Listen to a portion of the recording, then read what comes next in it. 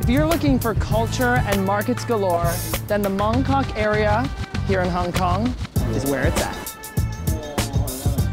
Mongkok literally translates to busy corner in Cantonese, and as you can see, the name fits.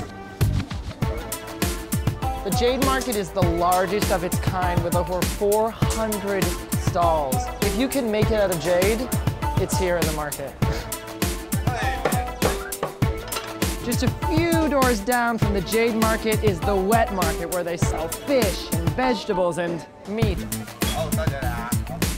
My favorite part is that there's so much food to choose from, you can seriously just eat your way through the market.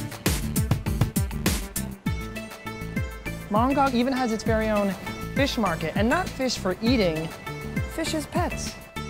You can find dogs and rabbits, all sorts of animals from the Chinese zodiac, except for tigers and dragons, of course. Hey, little guy. We're now in the ladies' market, and this is where you come to find anything a lady may desire.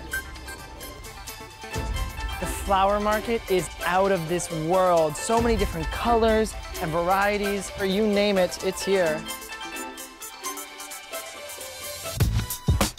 There is so much to see and do here in Hong Kong that it can be hard to choose how to fill your days.